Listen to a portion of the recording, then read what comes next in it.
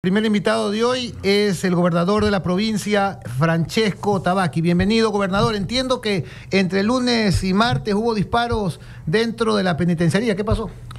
Bueno, trabajando hasta el último día y ahora pendiente de que esta transición que haga el próximo gobernador y no tenga que empezar desde cero. Muy buenos días a todo el panel, muy buenos días a todos los que nos escuchan. Hubo una balacera eh, la noche de anoche entramos con 1.300 uniformados, 800 militares, 500 uniformados de la Policía Nacional. Y como siempre, esperando los resultados ahora en la mañana, donde seguramente van a salir armas, drogas y algunas otras cosas más. Esperemos que con esta nueva medida sigamos peleando y sigamos ajustando todos los pendientes. Ahora, gobernador, el, gobierno hace, sin duda, hace su mejor esfuerzo para combatir la inseguridad. Sin embargo, Guayaquil y Durán están entre las 10 ciudades más violentas del mundo. Todos estamos preocupados y nuestra prioridad es la seguridad. Yo le voy a hablar un poquito de, los números, que siempre es, es importante basarnos en los números. En la provincia del Guayas, en la ciudad de Guayaquil, zona 8, llevamos 10.555 detenidos en lo que va del año vamos a, de aquí a fin de año, a superar los presos que tenemos en la penitenciaría del litoral. A eso estamos llegando. De esos 10.555, el 30% tienen antecedentes penales y el 60% tienen de 2 a 10 detenciones. Eso quiere decir que no son 10.550 detenidos, no son 10.550 detenciones, son 50.000 detenciones y no bajamos los brazos. Tenemos que seguir luchando y peleando contra una justicia que la mayoría de las veces no juega a nuestro favor. Gobernador, buenos días, un gusto tenerlo acá en Radio Centro. Eh, la inquietud que todos nos, nos, asiste en esta, en esta época de transición es que haya una transición fluida, haya pues intercambio de, data, como estamos viendo hoy día. Eh, ¿Cómo se tiene preparado este proceso? ¿Ya se ha acercado, me imagino, alguien del gobierno o, todavía no ha habido ese diálogo? Porque efectivamente pues habrán mesas de diálogo, tendrán que reunirse con, con, el gobernador, con el equipo del gobernador, el nuevo equipo, a efectos de intercambiar criterios. ¿Ha habido algo o, con total sinceridad, todavía no ha habido ese acercamiento? Hubo un acercamiento al inicio mío directamente con el presidente electo, poniéndole a la disposición la gobernación a mí me interesa sobremanera que venga un nuevo gobernador y que no empiece desde cero como me tocó a mí. Esa es la realidad en las gobernaciones. Los gobernadores han durado poco. Seguramente yo soy el gobernador que más ha durado en los últimos tiempos, casi 10 meses. Y a mí me tocó reinventar la gobernación. A mí no vino alguien y me dijo, mira, esto funciona así. Y es importantísimo que venga el nuevo gobernador y su equipo para que aprenda el manejo, porque si no le va a tomar mucho tiempo y todos necesitamos que la provincia y que el país copie lo bueno, deje lo malo a un lado, por supuesto, y que salgamos adelante. A todos nos interesa no por el nuevo gobernador que tenga éxito, sino por la provincia. Es importantísimo todo lo que articula eh, la gobernación, que no solo es seguridad, es educación, es salud, es la relación que hay con los 25 alcaldes de la provincia, con los ministerios, salud, educación, con la Policía Nacional, Comisión de Tránsito, todo lo que tiene que articular y especialmente a las puertas de un posible fenómeno del niño. Y en esa, en esa dinámica de información, eh, para mí siempre ha sido un, no un secreto, sino una, una, gran duda, es cuál es el presupuesto anual de la gobernación. ¿Cuánto maneja de presupuesto anual la gobernación? una gobernación tiene a los 25 jefes políticos, 35 comisarios, plano administrativo, nada más. La gobernación no es un ente que hace obras. La gobernación se preocupa porque las obras lleguen a la provincia, porque lleguen los servicios, que llegue la comunicación, que llegue la policía, que llegue la comisión de tránsito, CENEL, y que todo esto sea articulado para los alcaldes de la provincia, que al final del día, sin importar de qué partidos políticos sean, son quienes están en mayor contacto con la ciudadanía, con los pueblos. Por eso es importantísimo que a los alcaldes no les falte nada. Como yo les decía, cuando yo entré no había ningún tipo de contacto. Yo llamé a la unidad y todas las semanas me siento con todos los alcaldes en territorio y van conmigo a esta mesa de trabajo, a esta especie de COE provincial, todas las entidades del Estado el alcalde se sienta o los alcaldes se sientan y plantean sus necesidades e inmediatamente se actúa para que todo les llegue o que les llegue lo que necesitan y obviamente lo que se les puede dar. Es importante que por sobre todas las cosas se siga manteniendo esta unión. ¿Y cuál, eh, buenos días, eh, gobernador, y cuáles serían entonces esos puntos neurálgicos que no tienen espera para, para el nuevo gobierno desde la lógica de la, de la gobernación? Entendiendo lo que usted está señalando, pues este primero, este vínculo político con todas las autoridades seccionales sería el primer paso a dar precisamente para que la relación pueda fluir. ¿Qué, qué es lo que él tiene que hacer? ¿Cuál sería esta recomendación a, ese, a esa persona que recibirá esta gobernación? Las circunstancias hacen que todo caiga por su propio peso y es la seguridad. Tiene, tenemos que trabajar en la seguridad. ¿Y cómo? Tenemos que seguir trayendo policías a la provincia del Guayas. Nuevamente les doy números porque todo está basado al final del día en números y en estadísticas correctas y verdaderas. La provincia del Guayas, Guayaquil, representa el 40% de las muertes violentas que hay en el país. Representa casi el 40% de los actos delictivos. Tiene el 40% de la población carcelaria está en Guayaquil. Sin embargo, tenemos 10.000 policías de los 60.000. No tenemos ni el 15%. Guayaquil debería de tener 20.000 policías en lugar de 10.000. La provincia del Guayas debería de tener 30.000 policías. Esos son los números. Y para eso tiene que haber diálogo, tiene que haber unidad y debe de haber este mutualismo entre los gobiernos, cualquier gobierno, y las alcaldías, como se hizo ahora, que se pudo subir de 10.450 policías a 15.000. Se conversó con todas las alcaldías y todas les dieron hospedaje a los nuevos policías. Yo me senté con ellos y les digo, ok, yo consigo los policías, yo los traigo, pero ustedes ayuden con el, el hospedaje y que los policías tengan un lugar digno a donde vivir. Normalmente no está en su, en su jurisdicción pero estamos en una guerra, una guerra larga, letal y no convencional, a donde tenemos que tomar acciones no convencionales. Y, han pensado, y dentro de estos diálogos, porque sería muy importante también que se pueda construir infraestructura policial. Uno de los mayores problemas que tiene precisamente la provincia es la falta de número de miembros policiales, pero no solo eso, sino que la falta de número de miembros policiales va acompañado de la falta de infraestructura y capacidad para que estas, eh, estos servidores puedan vivir dignamente. Entonces, dentro de esa lógica, no se ha gestionado, no han pensado en gestionar con el sector privado, algún lugar en donde se pueda construir un nuevo cuartel, una, una, nueva, una nueva locación policial, además de las existentes, para que pues también eh, ellos puedan eh, de alguna manera tener presencia. De hecho, eh, uno de los grandes, de los grandes roles del policía no es actuar cuando ya se ha dado el delito, sino prevenir. Y la sola presencia en muchas ocasiones previene el delito. Entonces, ¿han pensado en, esto? Eh, ¿hay, algún avance, hay alguna negociación eh, sobre este aspecto? Por supuesto, el próximo gobierno tiene que buscar los fondos, los recursos para invertir en UPCs, en VCs, en soluciones habitacionales, inclusive para los policías. Hay estudios hechos, Ahora hay que salirlos a hacer. Yo durante todo este tiempo, por supuesto que he conseguido la ayuda de la empresa privada, a donde, como siempre digo, la empresa privada, la sociedad civil, todos tenemos que involucrarnos. Y se han hecho algunos UPCs, algunos puestos de auxilio inmediato en algunos de los cantones de la provincia. No es suficiente, falta más, falta muchísimo más, pero hay que entenderlo y luego ponerlo en práctica y de manera inmediata. Estamos conversando con Francesco Tabaqui, gobernador del Guayas.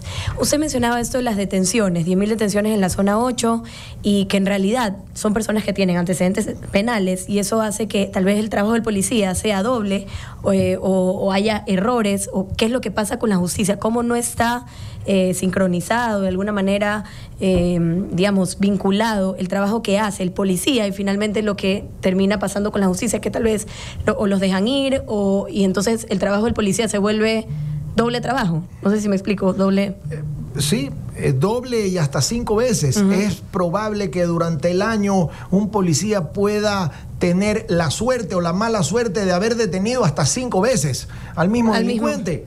Ha pasado, yo estoy permanentemente en contacto cuando hay los secuestros. Ha pasado y pasó con un empresario de Durán. Fue secuestrado por un el líder de la banda, tenía 17 años. Se lo detuvo y había estado detenido dos meses anterior, eh, anteriormente hace dos meses. Ahora estuve en el velorio de un policía, el que falleció en este atraco que hubo por el aeropuerto. El delincuente, el asesino, había estado en la cárcel dos meses antes. Pero eso no depende de nosotros, eso no depende ni de la ciudadanía, ni del gobierno, ni de cualquier gobierno.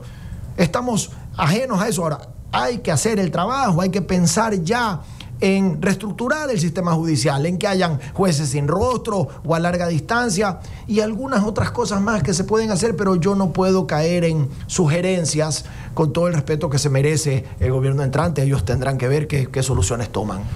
Francesco, y esa es una de las grandes inquietudes de la ciudadanía y de las grandes preocupaciones. ¿no? Lo, que tú estás develando aquí no es un secreto. Yo creo que la prensa se ha encargado de poner de manifiesto y aclarar el hecho del gran esfuerzo que, hacen las autoridades, eh, tanto civiles como policiales, para prevenir o, en este caso, eh, en, el caso de que haya ya un ataque o haya una situación criminal, pues tratar de detener a los implicados. Sin embargo, la Fiscalía, por una parte, eh, hemos visto innúmeras veces que tanto Fiscalía como justicia se encargan de sacar sendos comunicados diciendo, no, es que no lo puedo meter preso porque la fiscalía no me presentó las pruebas y la fiscalía dice, no, yo sí presenté las pruebas, pero los jueces son los que sacan a los, a los eh, detenidos, o sea, nosotros sí hicimos nuestro trabajo. Entonces, eh, yo sé que eso no es parte de, la labor de la gobernación, pero me imagino que se han abierto espacios de diálogo, me imagino que la presidencia de la República está consciente de esto. Eh, ¿Qué se ha podido hacer eh, eh, tanto con Fiscalía o con, el Consejo de la Judicatura, con los jueces? Me imagino que se ha visto además en medios de comunicación que, tú has estado en diálogos con ellos. ¿Se ha podido conversar algo de esta situación que realmente ustedes la deben tener en estadística y las tienen súper claras? Es decir, no, no, no es un secreto para nadie. ¿no? ¿Qué, qué se puede conversar? ¿Qué dicen ellos respecto de esta permanente situación de que los, los cogen, la policía los detiene en delitos flagrante muchas veces.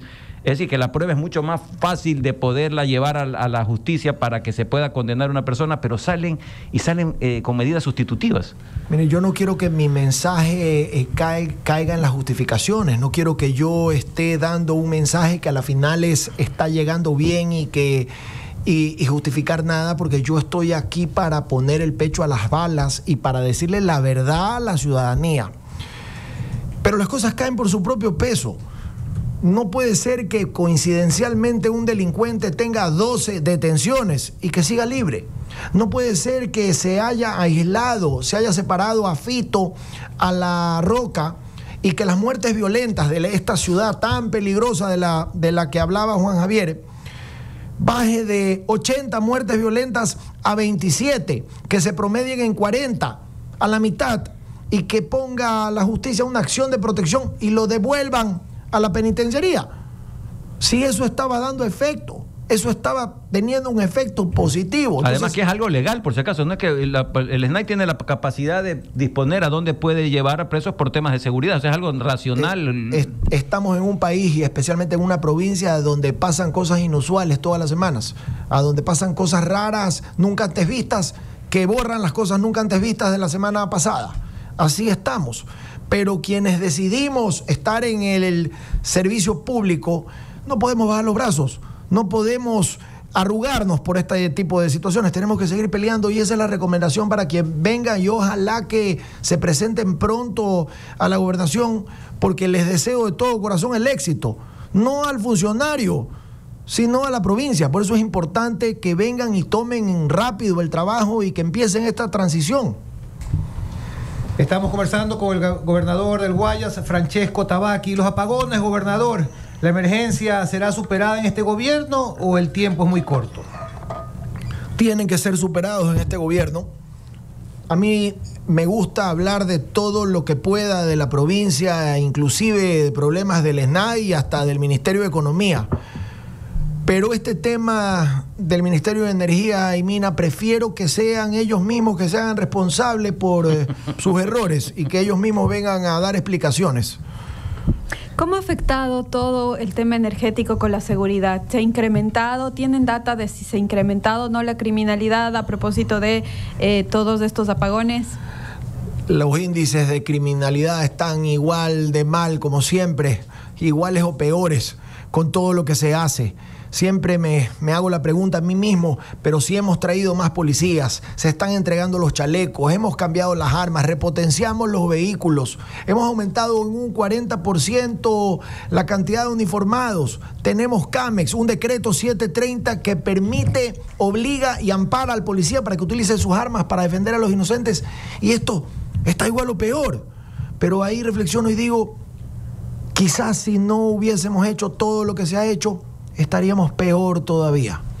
Y, y, mi pregunta iba por, por la lógica, y, y, hubo varios, varios colegas que el día de, ayer eh, en Twitter hacían, ahora ex, eh, hacían referencia que, por ejemplo, la fiscalía no recibía escritos, que no se estaban pasando las audiencias, y en términos de detenciones, no pasar una audiencia significa que pues esa detención se convierte en ilegal y la persona detenida tiene el derecho a salir en libertad. Entonces, es decir, eh, nadar contra corriente. Eh, era a propósito de toda esta circunstancia que también los apagones están eh, influyendo negativamente en la administración de justicia y por lo tanto también pues en todo el trabajo policial que se realiza en la ciudad. No pueden haber excusas. Con apagones, con lujo, con velas, la justicia tiene que prevalecer y tenemos que hacer el trabajo. Ahí tenemos a un CENEL que trabaja día y noche ahora en la penitenciaría. Ahí también se va la luz y tienen que entrar los funcionarios de CENEL a reconectar. Pero no pueden haber excusas. No hay ninguna excusa para que los funcionarios hagan su trabajo. Y peor aún, para que la justicia actúe de manera correcta, de manera legal. ¿No existe un observatorio de parte del Ministerio de Gobierno, de la Gobernación o del Ministerio del Interior eh, que ayude eh, o por lo menos tenga data de lo que sucede. ¿Cómo les llegan a ustedes la data de estas personas que son 17, 18 o 20 veces detenidas? Decir, ¿ustedes tienen un sistema de control de información o es un observatorio? ¿O cómo, cómo ustedes pueden llegar a determinar o es la policía la que puede a través de un sistema, de un software, enterarse de, cuando detiene esa persona, enterarse que ha sido 10 veces detenida? La policía está en, permanentemente, en permanente contacto eh, con las fiscalías y a mí me toca, y lo hago con muchísimo gusto, desayunar con los generales, almorzar con la tropa y en la noche estar en los operativos. Por eso estoy enterado de todo lo que pasa. Conocer la realidad te permite abrir caminos sin caer al abismo. Eh, los municipios y las prefecturas, señor gobernador, dicen que el gobierno les debe plata. ¿Es verdad esto? Es verdad, lo dicen los 25 alcaldes y la prefecta de la provincia del Guayas. El ministro de Finanzas ha sacado un comunicado diciendo que se han pagado 8.500 millones de dólares entre prefecturas y, y GATS, lo cual es correcto. También manifiesta que se ha pagado una deuda histórica con las alcaldías, lo cual es correcto también, por supuesto, y que se ha estado al día durante todo este tiempo, que también es correcto pero se les debe septiembre, octubre y lo que va de noviembre. Y eso hay que pagarlo.